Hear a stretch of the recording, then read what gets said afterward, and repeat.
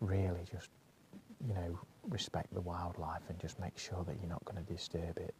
Um, you know, if I ever did anything where I thought that my actions were going to lead to parents leaving youngsters or something, I'd be mortified. So I know I'm quite safe here.